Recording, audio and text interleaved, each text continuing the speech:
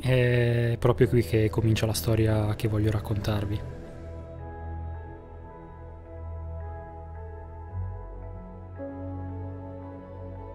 Non ho memoria di me senza bicicletta, a 6 anni mi è stata data la prima bici da corsa, a 12 cominciai a capire che prima di una competizione probabilmente non bisognava mangiare porcherie e si doveva riposare.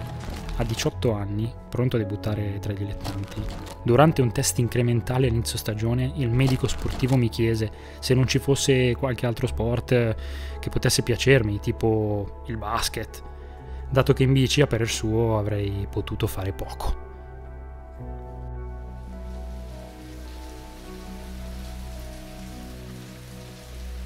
A 22 anni, durante un'importante gara di metà stagione su una salita di, di media lunghezza, comunque a metà gara, perdendo contatto dal gruppo, una macchina ammiraglia mi si affianca e un direttore sportivo mi dice che forse era ora di, di, di andare a lavorare, insomma di appendere la bici al chiodo.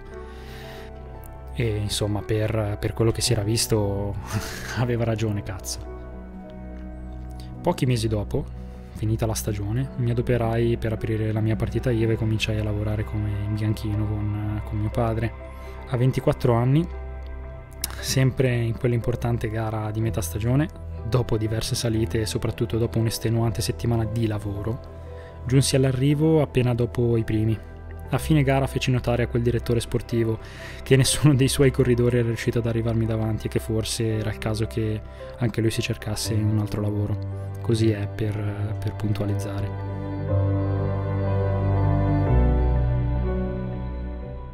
Ma Manfred è matto, ne vedi veramente pochi così.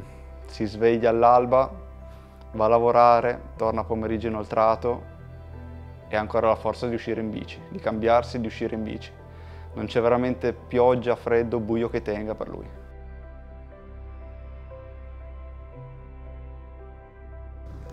e facendo una stima veloce da quando vado in bicicletta ho avuto circa 200 compagni di squadra. Ho visto ragazzi molto più forti di me mollare per motivi o scuse più o meno discutibili.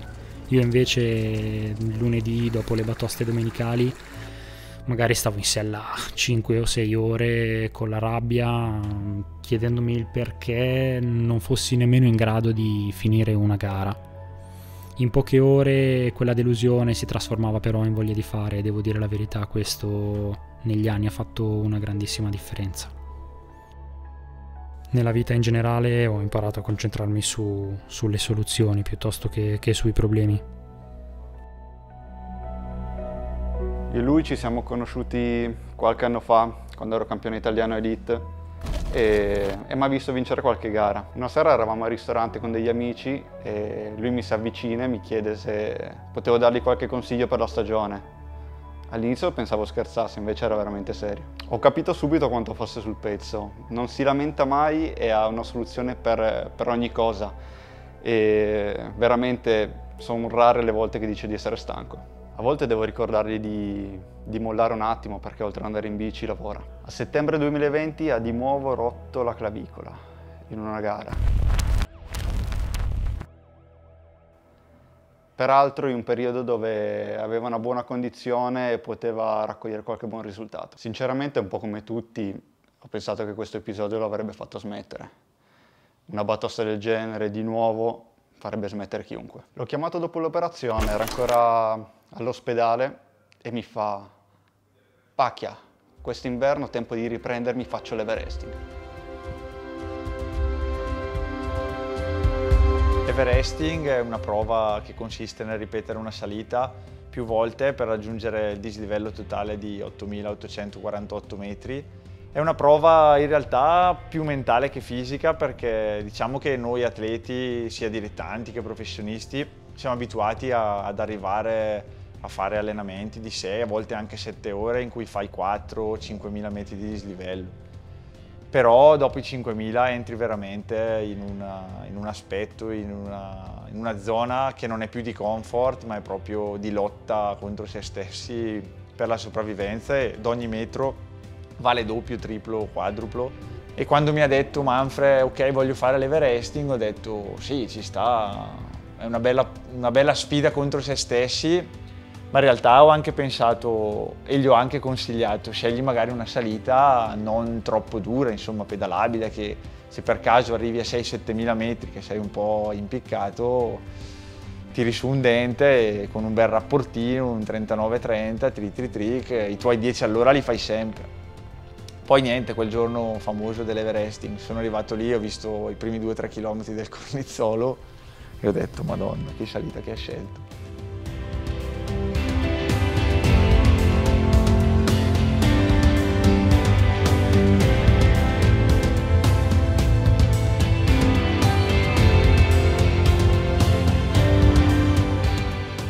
Visto la rampa del garage dei primi chilometri, ho detto, se ce la fa, tanta roba. Allora, per, per gli amanti dei numeri aprite bene le orecchie. Monte Cornizzolo, 7 km con una pendenza media che supera il 10%. Le punte sono tra il 15 e il 16, insomma, sembrava perfetta. 13 è il numero di volte che avrei dovuto percorrerla, chiaramente parlandone con, con gli amici e le persone a me vicino, ma se c'è sulla neve cosa fai? E se quella mattina ti svegli e nevica, piove c'è vento? E infatti, ancora una volta la vita era pronta a prendermi a calci nel culo.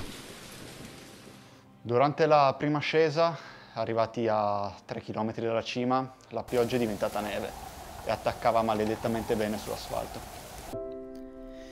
Avevo in mente di, di, archiviare la cosa in 11, massimo 12 ore, chiaramente sono quei calcoli che fai a casa sul divano, poi poi tutto viene stravolto. Per colpa della neve abbiamo perso circa tre ore, ma mollare o modificare il percorso era chiaramente fuori discussione.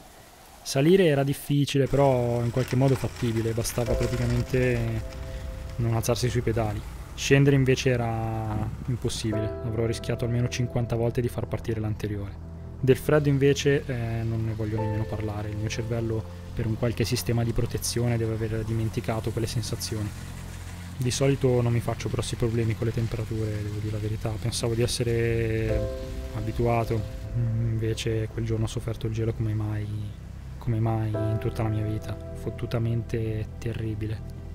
E dopo, dopo 5 ore circa dovevo scegliere se, se continuare o dare forfait la neve chiaramente non aveva nessuna intenzione di sciogliersi, io ero congelato e in queste condizioni, anche volendo, forse avrei finito la notte successiva.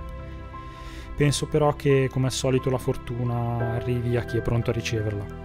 Quel timido sole, infatti, verso oh, le 11 del mattino ha incominciato a sciogliere quei 3 km maledetti. Provate a pensare, se avessi mollato e poi il pomeriggio si fossero presentati quei 12 gradi con sole pieno, sì, non voglio nemmeno pensarci. Dovevo continuamente ricordargli di mangiare e di bere. E ogni tre o quattro tornanti mi fermavo per dargli qualcosa da mangiare o anche solo un supporto morale. Avrà mangiato una quarantina di Kinder. La macchina sembrava veramente una discarica, avrà impiegato mesi a, a ripulirla. Oltre a quelli alla testa ho problemi alla schiena adesso. In una prova così, già dalle prime ore, devi comunque cercare di salvaguardare un po' il glicogeno muscolare che hai cominciato a stoccare già dai giorni prima mangiando più carboidrati. Anche se tu hai mangiato bene arrivi a un certo punto che il glicogeno finisce. E nelle prime ore devi già cominciare a attuare una strategia mirata dove magari parti e sai di mangiare 30, 40, 50 grammi di carbo ogni ora e poi devi arrivare però dalla quinta, sesta ora a mangiarne anche 70, 80, insomma devi alzare molto eh, l'utilizzo dei carboidrati, devi proprio mangiare tanto perché lì errori zero.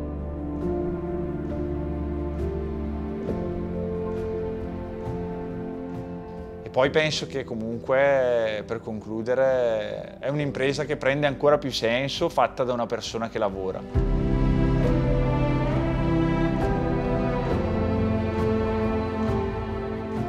Per riuscire però a prepararsi quel giorno lì dire ok oggi faccio l'impresa, all in, gioco tutto, davvero tanta roba.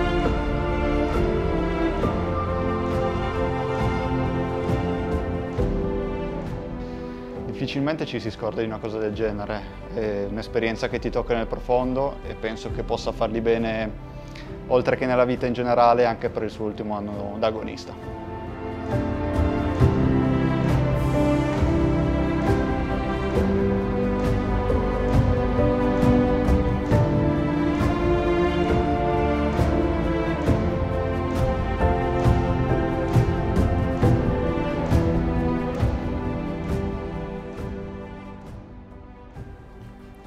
Ora, tralasciando le conclusioni ad effetto, la morale potrebbe sembrare banale, ma io personalmente credo che non lo sia. Poi ora va molto di moda, soprattutto sui social, parlare di, di resilienza, resilienza, andate a cagare. Personalmente preferisco pensare a quei materiali estremamente duri che resistono ad abrasioni, forti urti o a sollecitazioni. Nella vita ogni piano quei piani che generalmente si fanno sulla propria scrivania spesso vengono stravolti da qualche imprevisto. In quel caso solo la giusta attitudine farà la differenza tra un fallimento e un successo. Il gioco sta tutto nel saper resistere ai colpi e una cosa fino ad ora l'ho imparata bene. Duri sul divano non si diventa.